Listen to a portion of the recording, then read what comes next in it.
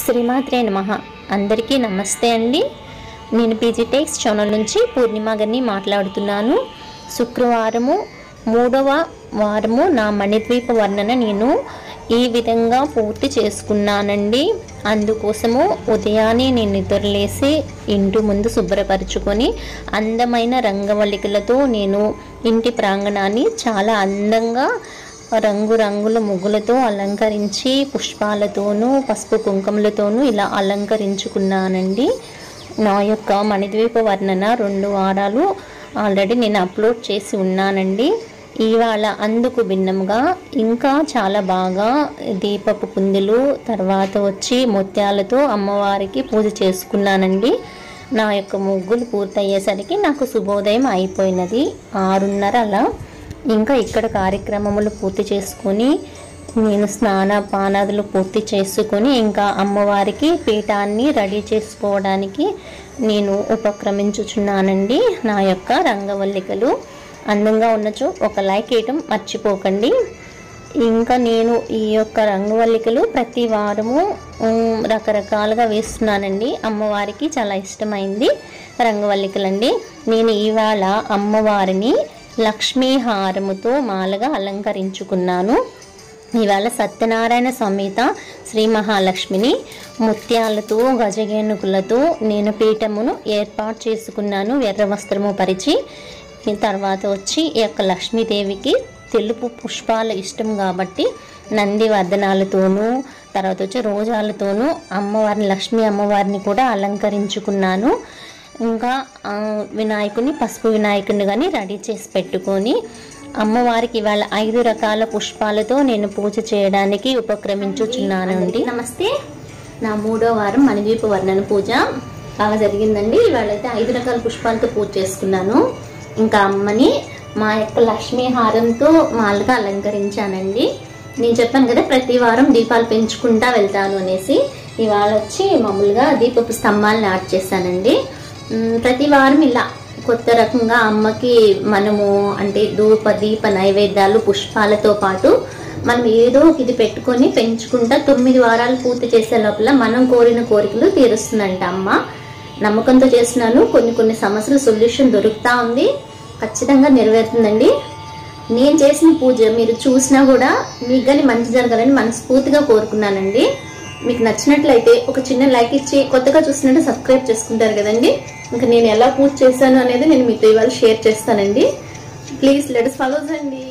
ఇవాళ నా పూజ కోసము నేను అన్ని రకాల పుష్పాలని ప్రసాదాలని నైవేద్యాలని దీపాలని ఇలా రెడీ చేసుకున్నానండి. అమ్మవారిని ఇలా ప్రతిష్ఠించుకున్నాను. చాలా అందంగా ఉంది. అమ్మవారిని చూస్తుంటే మన కళ్ళకే కమనీయంగా అనిపిస్తుంది.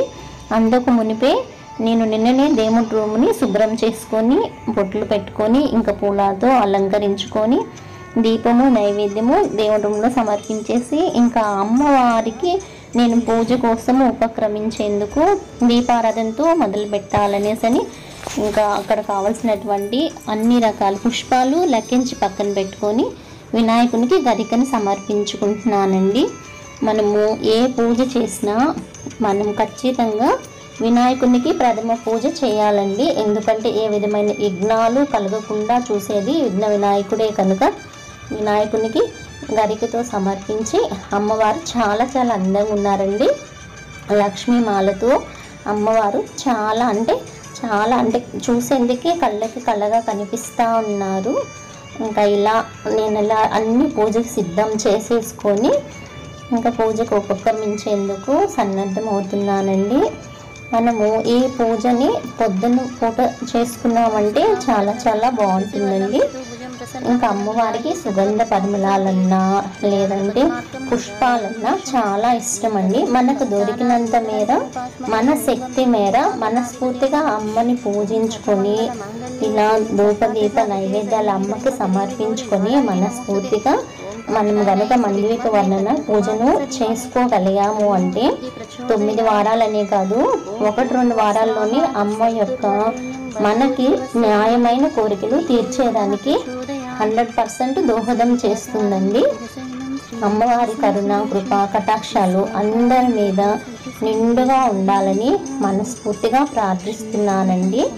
మనము చేయడంలో శుచి శుభ్రతతో పాటు అమ్మవారి మీద మనసుని లగ్నం చేయటం కూడా చాలా చాలా ముఖ్యమండి. నేను రెండు వారాలు బెల్లం ప్రసాదము తర్వాత పరమాన్నము ప్రసాదం నివేదించాను. ఇవాళ అయితే అమ్మవారికి చిత్రాన్నం ప్రసాదంగా నివేదించానండి. అమ్మవారికి ఈ యొక్క సుగంధ పరిమళాలని కూడా ఇలా మనము ఇట్లా వేసాము అంటే చాలా పరిమళంగా ఉంటుందండి. ఇంకా అమ్మవారికి ధూపం వేస్తున్నానండి. అమ్మవారికనే కాదు ప్రతి శుక్రవారము ఇల్లు మొత్తం మనం ధూపం వేసాము అంటే మన ఇంట్లోకి ఏ విధమైన నెగిటివ్ ఎనర్జీ ఉండదు అనేసని మన పెద్దవాళ్ళ మాట సైంటిఫిక్గా కూడా మనం ఇలా ధూపం వేసాము అంటే ఈ యొక్క వాతావరణంలో ఏ విధమైన వైరస్లు ఉండవని మా నిజమండి.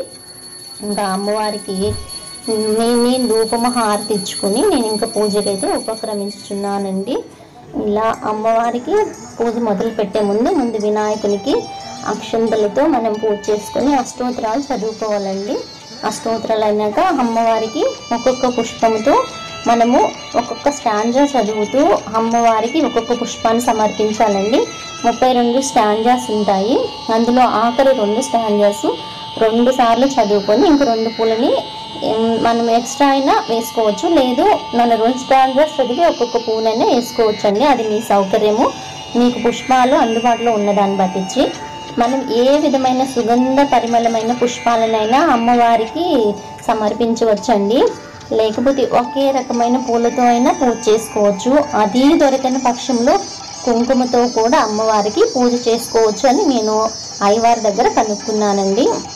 ఈ విధంగా నాకు ఇవాళైతే మందారాలు మందారాల్లో రెండు రకాల కలర్స్ దొరికాయండి. కానీ ఒక రకమే ముప్పై రెండు ఉన్నాయి. అందుకని రెండో రకం వచ్చి పటాలకంతా అలంకరించేసి ఒక రకంతోనే అమ్మవారికి మందారాలు రోజాలు తర్వాత నందివర్ధనము కస్తూరి పట్టి తర్వాత వచ్చి ఇంకో రకమైన రోజా మనం గులాబీలు అంటాం కదా గులాబీలతోనూ ఐదు రకాల పుష్పాలతో అమ్మకి నేను పూజ చేసుకున్నానండి. కొబ్బరికాయ కొట్టి నివేదన చేశాను. ఇంకా పూజ అయిపోయినాక కర్పూరం వెలిగించి అమ్మవారికి మనము మంగళహారతి ఇవ్వాలండి. కర్పూరం వెలిగించి మంగళహారతి. ఈ కర్పూరంలో కూడా నేను పచ్చ కర్పూరాన్ని యాడ్ చేస్తానండి. మనం పచ్చ కర్పూరం యాడ్ చేస్తే మన ఇంట్లో ఉండేటువంటి ఏ విధమైన వైరస్లైనా దూరం వెళ్తాయని మన్నికండి ఇంకా అమ్మవారికి పంచహారతి ఏకహారతి కానీ నేను అమ్మవారికి హారతిగా సమర్పించుకున్నానండి. ఈ విధంగా ఈ రోజుటికి నేను ఇలా నా యొక్క మూడవ వారము మణిద్వీప వర్ణన పూర్తి చేసుకొని ఇంకా అమ్మవారి దగ్గర నేను పెట్టిన ప్రసాదాన్ని అమ్మవారికి నైవేద్యంగా సమర్పించేశానండి. ఈవేళ మా ఇంట్లో పిల్లలు సారు బయట వెళ్ళినందువలన ఇంకా వాళ్ళు నైట్ వచ్చి నాకు నేను పిల్లలకి అక్షింతలు వేశాను మా వారు నాకు అక్షింతలు వేశారు అదైతే క్లిప్పింగ్ ఈరోజు వీడియోలో మాత్రం యాడ్ చేయలేదండి. కానీ మనం పూజ చేసుకునేది మన ఇంట్లో అందరూ బాగుండాలా? మనకి ఏ విధమైన వాస్తు దోషాలు ఉన్నా పోవాలని ఆరోగ్య సమస్యలు ఉన్నా పోవాలని సొంత ఇంటి కళ నెరవేరాలని ఒకవేళ స్థలం ఉన్న ఇల్లు కట్టలేని పరిస్థితిలో ఉన్నా కానీ అమ్మవారిని లలితమ్మవారిని మనం పూజించినట్లయితే ఖచ్చితంగా అమ్మ చాలా సుగమం చేసి ఎంత మొండిగా ఉన్న పనులైనా చాలా ఈజీగా జరిగేటట్లు చేస్తుందండి. ఇంకా నేను అమ్మవారికి ప్రసాదాన్ని సమర్పించాను. ఇంకా లక్ష్మీనారాయణని నేను ముందే పెట్టుకున్నాను కదా సత్యనారాయణ స్వామిని కూడా. సో ఇంకా వాళ్ళకి కూడా ప్రసాదాన్ని సమర్పించేసి ఇంకా నేను ప్రసాదాన్ని మా నాన్నగారికి పంచుతున్నానండి. ఇవాళ నా యొక్క వీడియో మీకు నచ్చినట్లయితే please like and subscribe my channel అండి. ఓకే అండి మరో కార్యక్రమంలో కలుద్దాం. బాయ్.